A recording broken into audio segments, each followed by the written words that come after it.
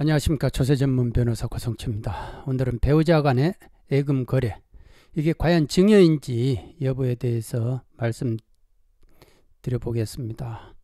지금 이런 사건이 너무 비일비재합니다. 국세청이 증여세로 가지고 가는 돈 중에 상당 부분이 배우자 간의 예금 거래 그거를 증여로 보고 마치 불로소득처럼 가지고 가는 거예요. 이런 예금 증여가 이렇게 있는 경우에는 꼼짝없이 중요인가? 중요 추정인가? 막 이렇게 되는 거예요. 그러니까 별로 말 못하고 아닌데요 이러면은 증여세 그러면 조사할 수 있습니다. 이렇게 나오면은 그냥 인정하시고 그냥 끝냅시다. 이렇게 나와요. 실제로 사례를 한 네 개 들어볼게요. 여기 남편이죠. 처가 있어요. 이 처가 이 부동산을 어떻게 됩니까? 가지고 있었는데 이거를 이렇게 팔았어요. 네? 매수인한테 파니까 이 돈이 이렇게 들어왔을 거 아닙니까? 들어오면 이거는 이제 양도세를 내야 되잖아요. 양도세를 냈는데 이분이 처가 이 사람이 양도세를 안 냈어요. 그래서 국세청이 나중에 체납자여 가지고 한번 조사를 해 보니까 이 돈 중에 일부가 이렇게 갔더라 이거예요. 이게 7천만 원 갔더라. 예? 어 그러면은 가만히 있어 봐라.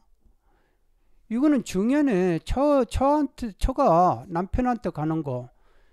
이거는 배우자 간의 양도 대 양도. 이거는 증여 추정을 하겠다. 상정법 44조 44조 이거 해가지고 증여 추정을 합니다 라고 하는 거예요. 추정 네, 증여 추정 저는 제가 만일 입법을 할 수 있는 그런 계기가 된다면은 저는 이 증여 추정 규정을 이거 삭제해야 된다. 저는 그렇게 생각합니다. 왜 그러냐면 과세관청은요 지금은요 국권으로서 AI를 도입할 정도로 모든 자료가 시스템에 다 갇혀 있어요. 그런데 본인들이 입증 책임을 누구한테 전환시키냐? 납세자한테 전환시키고 네가 저 입증해봐. 해가지고 아 그건 내가 못 믿겠어. 믿을 수 없어. 어, 신빙성 없어. 이렇게 해놓고 증에서 때려버리는 거예요. 가장 실력이 없는 사람들이 하는 짓이 무슨 주장을 하는데 믿을 수 없다. 신빙성 없다. 이런 식으로 결정문 쓰거나 판결문 쓰는 사람들. 그런 사람들이 가장 실력이 없죠. 그런데 이 대한민국 국세청이라는 데는 이 선진 세정이잖아요. 전산 세정을 외국에다 팔아먹어요. 수출을 한다고요. 수출을 하는 그 정도의 막강한 정보력과 뭔가를 자료를 가지고 있는 사람들이 납세자한테 입증 책임을 전환시킨다. 그러니까 배우자끼리 뭐 하면 거는 다 증여다. 증여 추정이다. 그리고 특수관계자끼리 뭐를 재산을 취득을 했다. 어? 자식이 뭐를 취득했다. 그러면은 어 부모가 뭐를 돈 줬겠네 하면서 취득 자금도 증여 추정을 하겠다. 양도도 증여 추정. 45조 취득 자금도 증여 추정. 취득이나 양도나 다 잡겠다 이거예요. 그러니까 배우자끼리 뭐 직계 좀비속끼리 동거래 하지 마. 이거 아니에요. 그러면 그래서 7천만 원 갔네. 이거는 무조건 이 사람들은 국세청은 증여로 봐버려요. 증여로 보니까 이 남편 입장에서는 무슨 소리 하고 있냐. 이 돈이 증여가 아니고 소비대차다. 소비대차. 에? 왜? 남편이 저한테 돈 빌려준 게 있다. 그러니까 받았다. 음, 변제로. 왜? 이렇게 된 거예요. 그런데 법원은 이거를 인정을 안 해준 거예요. 증여가 맞네 하면서. 왜냐하면 처가 이 7천만 원을 보낼 때 7천만 원을 계좌로 한 번에 보내질 않고 3천만 원, 3천만 원, 3천만 원 이렇게 이렇게 천만 원 이렇게 나눠서 보냈단 말입니다. 그런데 이 속에서 이제 또 나눠서 이렇게 보냈는데 이거를 이제 자기 친구 이렇게 이 속에 친구가 친구라는 사람을 통해 가지고 이렇게 친구한테 돈 3천만 원 넣어주고 친구야 친구야 우리 남편한테 3천만 원 좀 넣어주라 이런 식으로 이제 어 돈의 꼬리표를 떼려고 하는 그 흔적들이 보인다 이거예요. 그러니까 이거는 정상적인 뭐가 어 거래가 아니다. 음? 이 양도소득세 어차피 나올 거를 대비해 가지고 체납 처, 체납을 체납 처분을 피할 목적으로 이 처가 돈을 빼돌렸다 이런 식으로 7천만 원에 대해서 사회행위 취소 소송을 한 거예요. 그래서 이 증여 행위를 증여 행위는 어떻게 됩니까? 사회행위다 취소해라. 그래가지고 이 가액 반해를 남편한테 그러면 어떻게 됩니까? 남편인데 돈을 내놓을 수밖에 없죠. 그러니까 서민들의 이런 7천만 원 정도 이런 거는 사회행위로 잡는다 이거예요. 그런데 이게 이 매각대금을 이 매각대금을 이런 식으로 이렇게 보내는 거는 자연스럽지 않다 이거예요. 그러니까 이분들이 이거는 내가 볼 때는 조금 의도를 가지고 있었다. 그런데 이런 식으로 주장 아니어도 또 다른 주장을 한번 해봤으면 어땠을까 하는 그 생각이 듭니다. 그래서 사례를 하나를 더 들어보면요. 예. 남편이 있죠. 남편이 있고 처가 있어요. 남편 소유 부동산이 있어요. 이거를 어떻게 됩니까? 매수인한테 팔아요. 팔면은 이쪽으로 돈이 들어올 거 아닙니까? 예? 이쪽으로 돈 10억이 들어와요. 그러니까 남편이 처한테 돈 10억을 싸줘요. 예? 그러면 처가 이거를 누구한테 주냐 하면은 보험사에다가 보험사에다가 넣어가지고 보험 상품에 가입을 하는 거죠. 가입을 해가지고 이쪽에서 매달 얼마씩을 이제 타 쓰는 거죠. 200에서 300만 원씩 타서 쓰고 이렇게 했다 이거입니다. 예. 그리고 나중에 이제 보험금이 나중에 이제 환급이 돼요. 이렇게 보험이 해지돼 가지고 환급이 되면은 이 돈이 이제 한 13, 10, 뭐 13억이 됐다. 어? 그러면 이 13억을 남편하고 처 공동으로 해가지고 또 어떻게 됩니까? 보험을 들어요. 보험을 들고 일부 금액은 남편한테 이렇게 다시 보내줘요. 예? 그러니까 돈이 이런 식으로 다시 사용되더라. 예? 이렇게 되고 남편은 평소에 생활비조로 예? 220에서 뭐 350만 원씩 계속 주고 그리고 저한테 계속 돈을 주는 경우들이 상당히 많았어요. 이런 식으로. 네. 혼인 생활을 이렇게 했으니까 오래 전부터.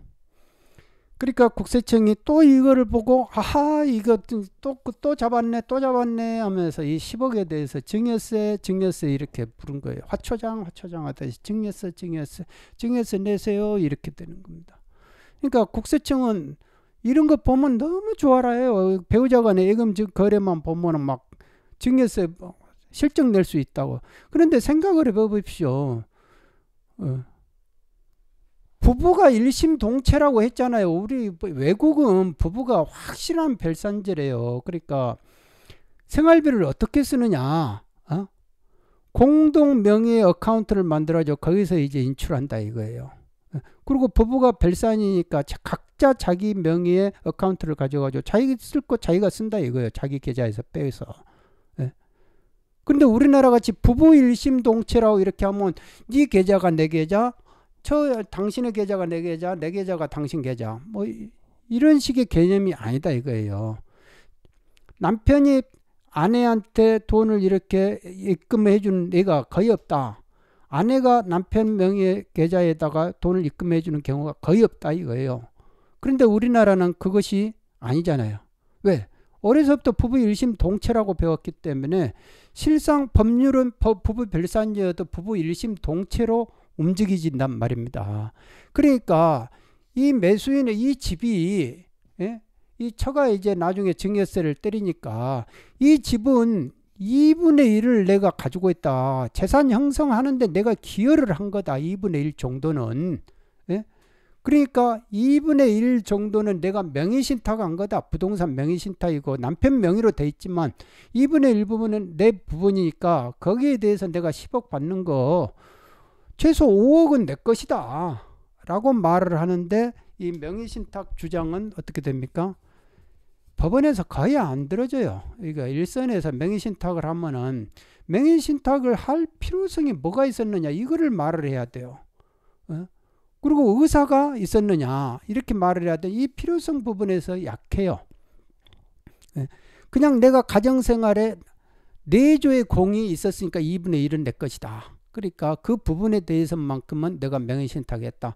이런 말이 안 통한다 이겁니다. 안 통하면은 그러면 이 사람은 증여세를 받아야 되느냐? 아니죠. 증여세를 안 받아요. 이렇게 주장을 하는 거죠. 부부가 일심동체고 봐라. 이 돈이 이렇게 이렇게 갔다가 다시 또 이게 전부 다 생활비로 우리가 다 이렇게 쓴 거다. 이런 것 돈들이 다 생활비다. 예? 생활비고 그리고 이 10억 온 거는 내가 남편 돈 받아가지고 우리가 공동으로 보험금 넣어가지고 예? 위, 탁 관리한 거 아니냐. 재산을 여자가 하지 가정주부가 하지 남자가 이렇게 자산을 불리는 게 아니지 않느냐 우리나라는 그러니까 전적으로 아내를 믿고 아내한테 돈 주면 아내가 그거를 오선도선 이렇게 해가지고 알뜰살뜰 해가지고 돈을 모으는 게 우리나라 전형적인 그, 그 어, 가정 아니, 아니냐 이거예요. 그러니까 나는 이저 입장에서는 그렇게 돈 모을 이렇게 알뜰살뜰 모았다. 그래가지고 또 우리 공동 명의로 또 보험 연말 말년을 위해서 보험 넣고 그 나머지 돈이 있는 거는 이쪽에 남편한테 또 주고 남편이 쓰라고 이렇게 주고 그리고 남편은 또 이런 식으로 돈 주고 돈 주고 이런 식이다. 그러니까 누가 누구 거라고 이렇게 정확하게 별산으로 이렇게 구분되는 것이 없다. 그래서 이게 오케이 증여 아니다 이렇게 돼버린 거예요. 음? 증여가 아니다. 이거는 맞다 이거죠. 이렇게 아내가 무조건 이 입금됐다는 그 자체로 증여 추정이 되는 게 아니다. 추정이 아니다 이거예요. 예? 왜? 남편이 저한테 돈을 줄 이유가 뭐가 있느냐? 일단은 생활비를 같이 써야 되지 않느냐? 생활비. 가정주부니까 생활을 해야 되니까 가정주부가 그러면 생활을 해야 되고 어떻게 됩니까? 같이 공동 생활을 하는데 남편이 일일이 내가 가가지고 은행 일 보고 뭐 하고 할 필요가 없지 않느냐 이거예요. 일단은 아내한테 아내 명의에다 계좌 돈내 돈 내 돈이 내 돈이고 뭐 이런 식이니까 해가지고 당신이 알아서 빼서 이렇게 어, 분리라고 이렇게 하는 거 아닙니까? 그리고 아내가 남, 남자한테 돈이 있으면 어떻게 돼요? 우리나라 항시 하는 애분들이 하는 어 하는 말이 남자가 돈 가지고 있으면은 돈을 못, 그, 불리지를 못한다는 거 아닙니까? 그러니까 여자가 돈을 가져 있어야 된다. 그러니까 여자한테 돈 줘가지고 재산을 이렇게 불리는 거 아니에요. 그러니까 그게 맞다. 그게 경험칙상 맞다 이거예요. 우리나라 정서상은. 그러니까 증여 추정이 아니다 이거예요. 증여 추정이 되려면 일단은 뭔가가 증여라고 볼 수 있는 경험칙상이 존재해야 돼요. 그러고 나서 거기에서 아 이게 증여가 아니라는 특단의 사정은 특별한 사정은 납세자가 입증하게 돼 있는데 우리나라 경험칙상 어떻게 됩니까? 예금 입금했다는 그 자체만으로 증여가 아니다 이겁니다. 이 판례가 나오게 된 계기가 이제 대법원 판례가 있는 거예요. 이 사람들은 그 대법원 판례의 혜택을 본 겁니다. 근데 국세청은 대법원 판례가 나와도요. 외교 같은 것도 안 고쳐요. 그래서 외교를 좀 고쳐라. 그런데 어, 그때 제 있을 때는 그 말을 했어요. 대법원 판례가 다섯 번 고쳐야 된다. 다섯 번 고쳐야 외교를 고친다 이거예요. 집적이 다섯 번이 대법원 판례가 어떻게 해서 그러면은 심리 불석용 기각 말고 대법원이 이렇게 자기가 판단한 그 판결문이 나오기까지가 다섯 개를 나오려면은 몇십 년 도대체 얼마나 걸려야 되느냐. 그러니까 애교가 안 고쳐지는 거예요. 그러니까 그런데 국세청은 어떻게 되느냐? 감사가 나가면은 판례에 따랐습니다. 이거는 증여가 아닙니다. 이렇게 하면 우리 국세청 예규를 따라야지 왜 판례를 따르냐 이렇게 나오는 거죠. 그러니까 바로 그 부분이 문제가 있는 겁니다.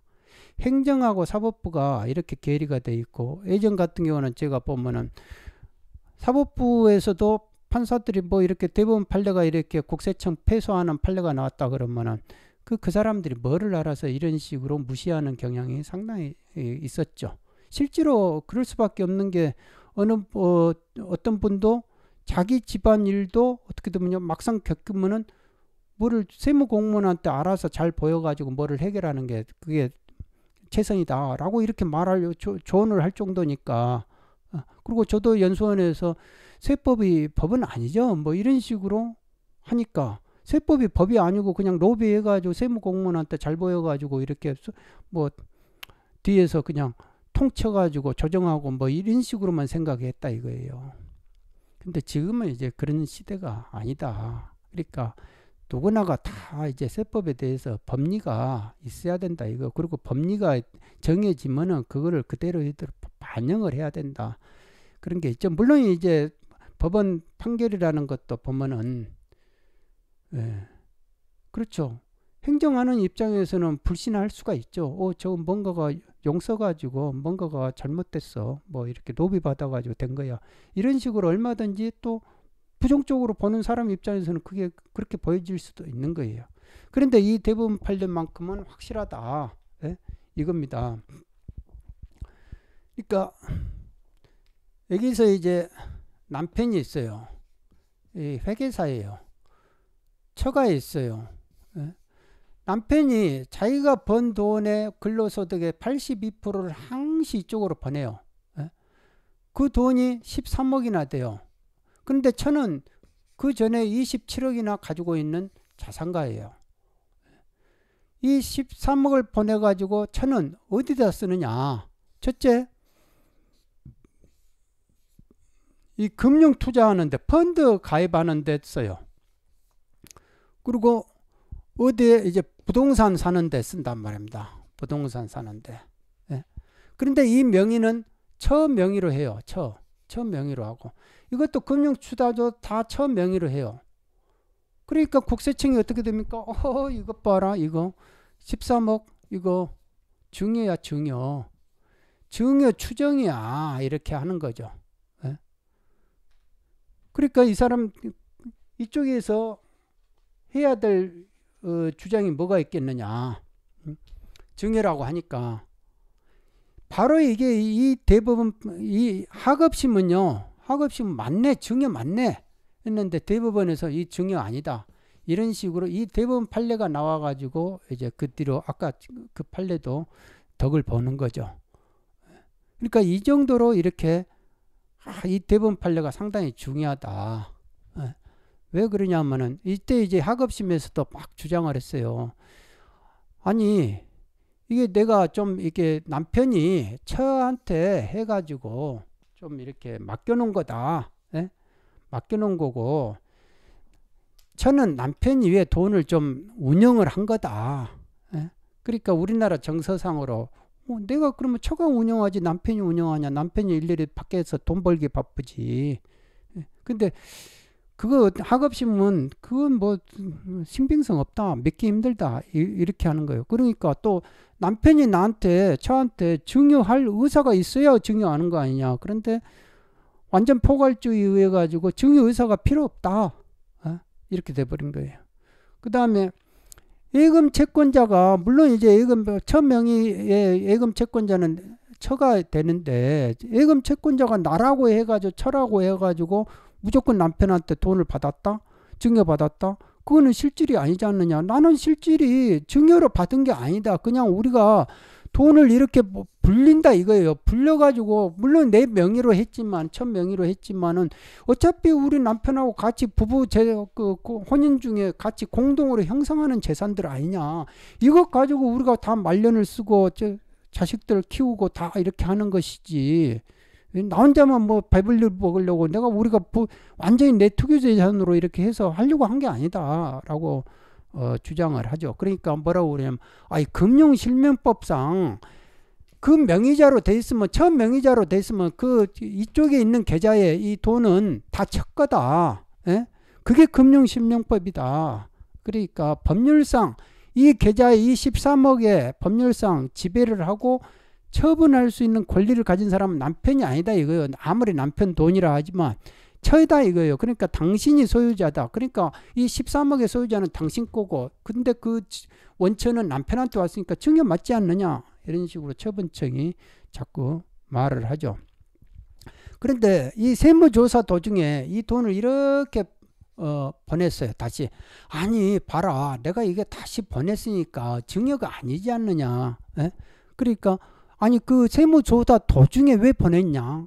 그러니까 당신은 이게 증여가 아니라는 거를 대가가 없이 받는 것이 아니다는 것을 만들어내서 화살표 하나 만들어낸 거 아니냐. 그러니까 믿을 수 없다. 그런데 이게 조금 그 내가 이게 판결문 보면서 이 피고가 지도하에 피고 지도하에 세무조사 도중에 피고 지도하에 이거를 이렇게 보냈다 이런 식의 표현이 나와요 판결문에 나는 그래서 느낌은 오는데 또 무슨 일이 벌어졌는지 느낌은 오는데 예, 더 이상 내가 모르고 그 이상은 내가 이제 어, 구체적으로 글로 나와 있지 않으니까 어, 그러니까 이 사람도 참 세무조사 당하면서 당하면서 고통 좀 겪었구나 내 생각은 들더라고요. 그리고 이제 음, 이분이 입장에서는 이제 또 그런 식의 이제 주장을 한 거예요. 이, 이 주장이 상당히 좀 음, 제가 볼 때는 상당히 법리적으로는 괜찮다. 봐라. 이 재산 그 이혼을 하는 경우 이혼을 하는 경우는 재산 분할을 하지 않느냐.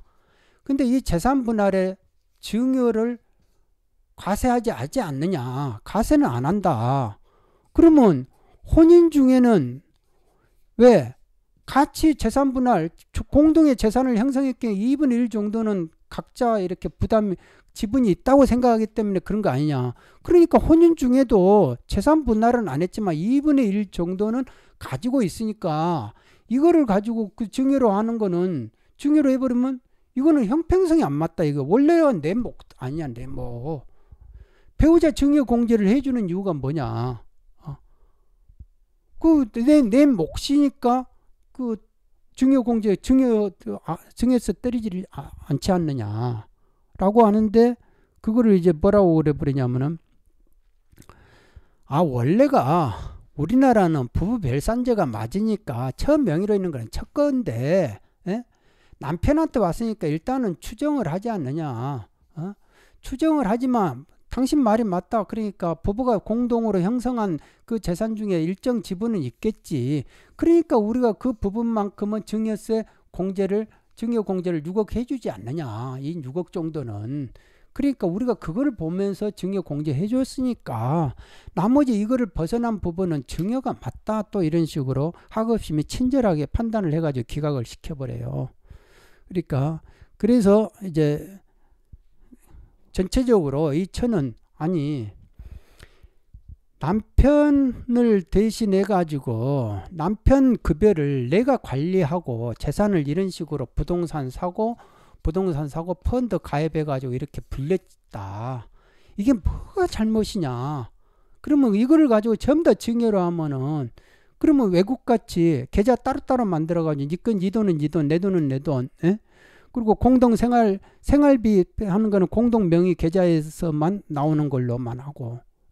차라리 그런 식으로 처음부터 그러면 호, 계도를 해라 우리나라 사람들한테 혼인할 때 절대 부부 일심동체로 살지 말고 부부 별산제로 살아라 계좌도 각자 가, 가지고 돈도 각자 써라 생활비도 각자 자기 계좌에서 쓰고 혹여나 모르니까 공동 명의 계좌로 해서 빼라 이렇게 해야 되는 거 아니냐. 그러면 그게 우리나라 정서하고 안 맞지 않느냐. 그러면 그게 경험칙이 안 맞다 이거예요. 바로 이런 부분에서 대법원이 어떻게 되느냐. 맞다. 그 말 맞다 이거예요. 대법원이. 예? 무슨 소리하고 있냐. 서로가 공동생활 하는데, 예? 공동생활 하는데 편의를 편의가 있는 거 아니에요. 누구 한 사람한테 아내한테 맡겨가지고 뭐를 경제 예금 계좌 금융 관리를 맡기는 거는 서로가 믿음 하에서 결혼을 했기 때문에 예? 공동생활에 편의를 도모하는 거죠. 누구 직원 통해 가지고 비서 통해 가지고 이렇게 하는 것이 아니고 제3자 통해 가지고 예금거래 하는 것도 아니고 내가 직접 못 갈 시간에는 아내가 가면 되지 않습니까? 그리고 생활비 가족의 생활비는 어디서 나와요? 남편한테 나와야죠. 그러지 않습니까? 버는 사람한테 나와죠. 가정주부한테 나오는 건 아니죠. 응? 그리고 어, 이 재산을 분리해야 되잖아요. 재산을 분리해야 재산을 분리해야 되니까 남편 돈을 위탁을 받아가지고 아내가 불리는 거 그게 살림 살림을 잘하는 사람 아니에요. 그러니까 그게 뭐가 잘못됐냐 이거예요. 이 상황 하에서 남편 돈이 이렇게 왔다 이거예요. 남편 돈이 이쪽에서 무조건 왔다 해가지고 증여 추정하지 마라 이거예요. 추정 추정 이거 하는 건 안 된다 이겁니다. 과세 관청 너희들이 이게 아 이게 공동생활 편의도 아니고요. 생활비 그것도 아니고요. 재산 분리는 이것도 아닙니다. 다 일시적으로 목적이 있었습니다. 이 사람들이 13억 줘놓고 다시 이쪽으로 이렇게 돌리고 또 이렇게 돌리고 뭐 이런 식으로 뭐를 했습니다. 어? 라는 식의 별도 그런 경험칙을 깨는 그런 요건 사실을 증여라는 사실을 입증을 해라. 그렇게 해가지고 그때 보면 판례 때문에 아 이렇게 이게 이제 이분들은 구제가 된 거죠. 증여로 안 봐진 거죠. 그러니까 이분들도 참 대단하신 분이에요. 1심, 2심 다 졌는데도 3심까지 가가지고 거기서 파기환송을 받은 거거든요. 저도 국세청 사건을 이렇게 하면서 1, 2심 다 져가지고 온 거 저한테 대법원에서 오는데 세무사들이 자기들이 처음에는 막 그거 어, 아 이거 100% 이긴다고 이러다가 2심까지 지고 나니까 그거 100% 지니까 어디 가서 맡기지 말라고 그랬대요. 그런데 그걸 가지고 왔어요. 가지고 와가지고 이렇게 보니까 씻고 했는데 결국은 이제 파기환송을 받았죠. 파기환송을 받고 어 그러니까 이게 법리상으로 이렇게 보는 거는 그래도 그 대법원이 그거를 걸러주는 그 역할은 확실히 하더라. 그런데 그게 이제 심리 불속행 기각이 몇 프로인지도 모른대요. 뭐 저도 모르겠고 뭐 90%라는 뭐 사람이 있고 70% 그러니까 심리 자체를 안 해버려요. 1, 2심에서 그 정도 어, 돼버렸으면은 대부분 가봐야 의미도 없다. 막 이런 식이거든요. 근데 그래도 이 판례가 나오고 나서부터는 그래도 어, 상당히 많이 구제가 되는 식으로 연결이 되는 것 같아요. 그리고 이게 우리가 이제 사망을 하면은 이게 이게 여기가 이제 사망을 하잖아요. 10년이잖아요. 10년 이내에 이 증여가 있는 거예요. 그러니까 망인이 망인이 저한테 이런 식으로 자꾸 이렇게 에? 예? 이렇게 연도별로 이렇게 중개 있을 거 아닙니까? 그러면 이거를 전부 다 증여로 잡아버리는 거야. 증여로 잡아가지고 어떻게 됩니까? 무신고한 거 부분에 대해서 가산세 매기고 에? 예? 증여세 매기고 어, 그 다음에 플러스 상속 재산에다가 가산해 가지고 상속세 매기고 어? 그러죠. 이 증여세는 상속세에서 이제 어, 기납부세 공제하고 어? 이런 식이 되는 거예요. 예금이 갔으니까 예금이 갔으니까 예금이 갔으니까 예금이 갔으니까 어? 이런 식이에요. 음. 근데 이 애기도 이분들도 이 돈 가지고 예?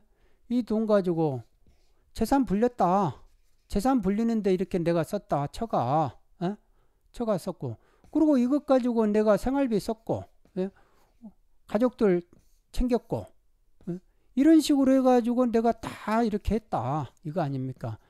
이러니까 이거 또 판례가 그렇게 되니까 이 부분에 대해서 중요 아니다. 중요 아니다. 그러니까 상속세도 까주고 감액해주고 증여세도는 아예 위법하고 취소해야 된다.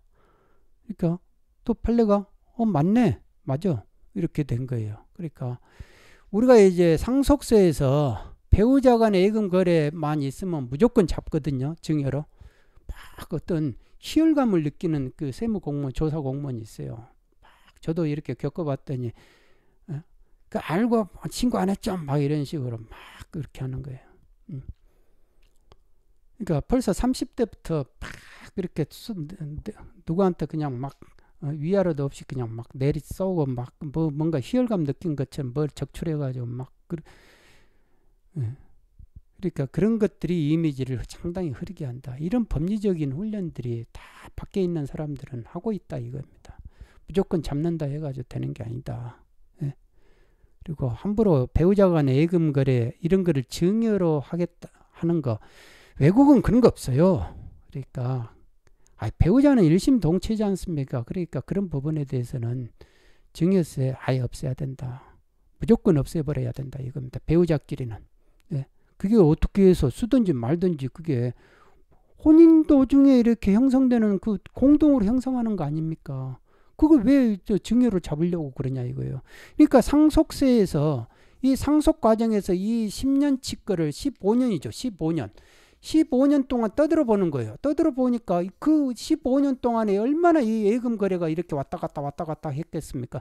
특히 이 망인이 은행 거래를 좋아해 가지고 처음 뭐 저, 저는 경제권이 없는 사람 입장에서는 맨날 여기 첫 명의로 이렇게 돈 넣었다가 뺐다가 돈 넣었다 뺐다 뺐다 이거를 이제 은행 사람들이 아첫 명의로 이렇게 하세요. 그 다음에 아내 명의로 이렇게 하시고 또 이 상품 드시고 이 상품 드시고 이게 만기가 되면 또 이 상품에다 넣으세요. 이 상품에다 그러니까 맨날 이렇게 첫 명의를 통해 가지고 왔다 갔다 왔다 그런데 이 천은 실상 사망 시점까지는 이걸 몰라요. 예? 돈이 있는지도 모르고 그런데도 무조건 이게 중요 중요 중요 맞지 않습니까 중요 억울하면 불복하세요. 이렇게 되는. 앞으로는요, 전부 다 불복하십시오. 전부 다. 이렇게 해서 부부 열심 동체인데 무슨 놈뭐 이게 예금 거래가 갔다고 해가지고 증여 추정. 증여 추정이 아니다 이거예요. 증여 추정이 아니고 과세관청이 증여라는 사실을 입증을 해봐라. 그게 대법원 판례다라는 겁니다. 많은 도움이 되기를 바랍니다. 오늘 여기까지 하겠습니다. 감사합니다.